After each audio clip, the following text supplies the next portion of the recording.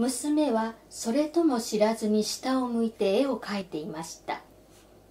そこへおじいさんとおばあさんとが入ってきて「さあお前は行くのだ」と言って連れ出そうとしました。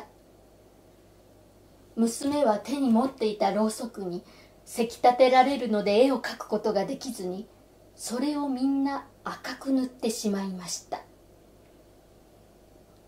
娘は赤いろうそくを自分の悲しい思い出の形見に23本残していったのであります。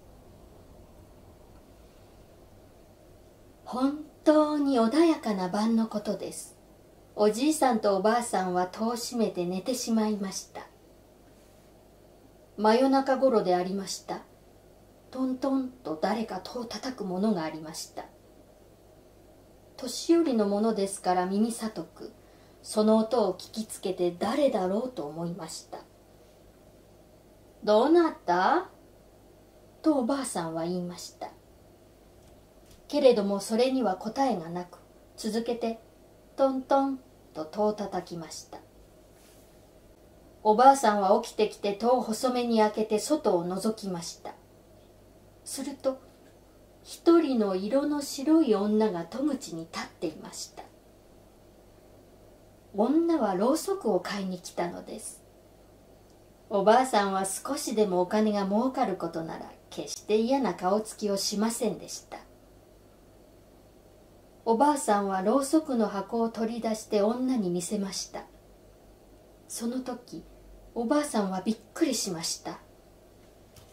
女の長い黒い髪の毛がびっしょりと水に濡れて月の光に輝いていたからであります。女は箱の中から真っ赤なろうそくを取り上げました。そしてじっとそれに見入っていましたがやがて金を払ってその赤いろうそくを持って帰って行きました。おばあさんは灯火のところでよくその金を調べてみるとそれはお金ではなくて貝殻でありました。おばあさんは騙されたと思って怒って家から飛び出してみましたがもはやその女の影はどちらにも見えなかったのであります。その世のことであります。急に空の模様が変わって近頃にない大嵐となりました。ちょうどヤシが娘を檻の中に入れて船に乗せて南の方の国へ行く途中で沖にあった頃であります。この大嵐ではとてもあの船は助かるまい。とおじいさんとおばあさんはブルブルと震えながら話をしていました。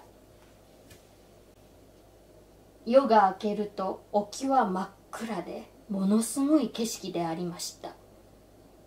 その夜南船をした船は数えきれないほどであります。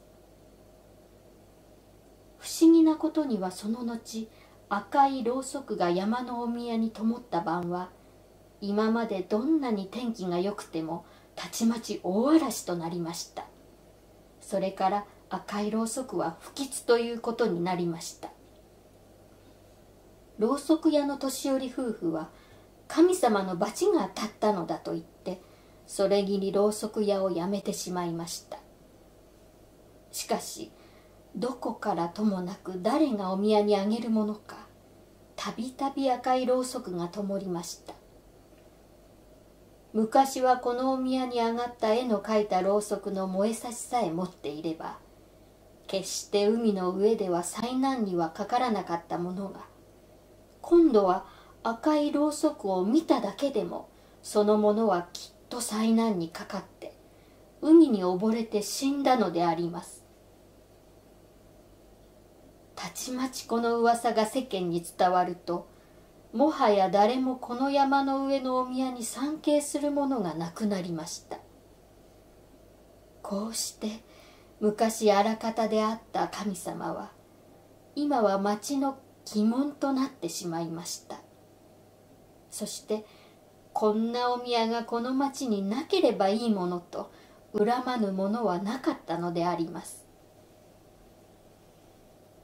船乗りは沖からお宮のある山を眺めて恐れました。夜になるとこの海の上はなんとなくものすごうございました。果てしもなくどちらを見回しても高い波がうねうねとうねっています。そして岩に砕けては白い泡が立ち上がっています。月が雲間から漏れて波の表を照らした時はまことに気味悪うございました。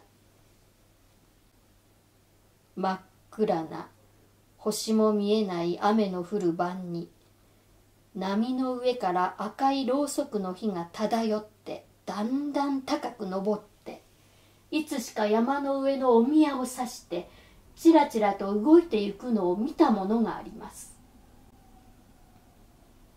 幾年も経たずしてその麓の町は滅びてなくなってしまいました。